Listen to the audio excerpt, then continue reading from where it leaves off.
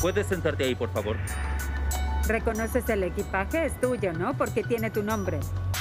Este caso nos llama mucho la atención porque es muy atípico.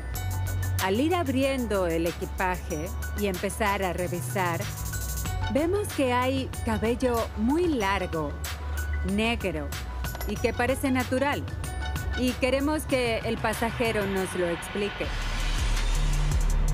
Dime, ¿este cabello es natural? ¿Es humano? Mira, ¿lo ves?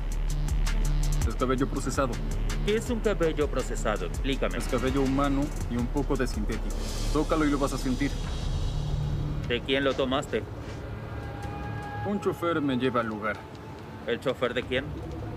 De la importadora. Entonces es importado. No es importado. Es... Si hay un importador, tendrá que demostrar que todo está en regla. Entonces tendremos algo más que resolver. Puede transportar el cabello en los vuelos nacionales, pero tendremos que ver la factura, porque ahí hay varios impuestos internos más, estatales o municipales, que pueden incidir ahí. Entonces la factura tendrá que demostrar que él hizo el pago. Según él es cabello mixto, Val. Empieza siendo humano y tiene Vamos a... un añadido aquí. Es cabello grueso y el largo es idéntico. Nos hace desconfiar de su origen. ¿Cuántos kilos pesa más o menos? Más o menos unos 85 kilos. Según la etiqueta de la maleta, cada maleta tiene un peso anotado de 20 kilos. Tenemos cinco maletas, así que hablamos de 100 kilos de cabello. Yo ni lo veo, solo lo ¿Ni siquiera sabes lo que llevas? Bueno, sí sé lo que estoy llevando, eso sí lo sé. ¿Al menos lo abriste para revisarlo? Claro que sí. Para que veas, Mm, si miras mi tarjeta de embarque, no me quedé ni una hora en Campo Grande.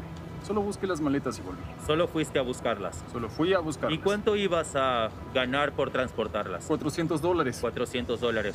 ¿Cómo se llama la importadora? Está en la factura, ¿no? En la factura.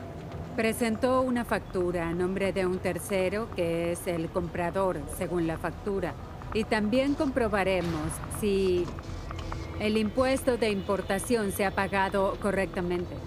Si es una factura que ha sido alterada o algo así, es un Me asunto parece de la policía, incluso de la policía civil o de la policía federal. Si al menos se ha formalizado en el sistema, solo será una retención. Si es una factura falsificada, pasa a la esfera penal.